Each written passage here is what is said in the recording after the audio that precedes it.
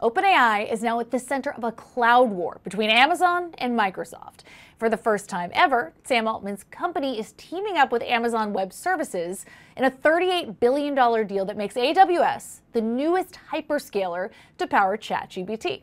The move comes just a week after Microsoft lost its right of first refusal on new compute deals, really clearing the way for OpenAI to sign with Azure's biggest rival.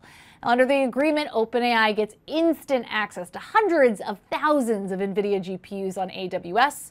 It's already live and ramping fast with new infrastructure custom made for OpenAI coming online next year. Now, for Amazon, it is a marquee win in its fight with Microsoft for AI dominance. And for OpenAI, which just met the prereqs to close a $40 billion funding round, and has already committed another 250 billion to Microsoft Azure.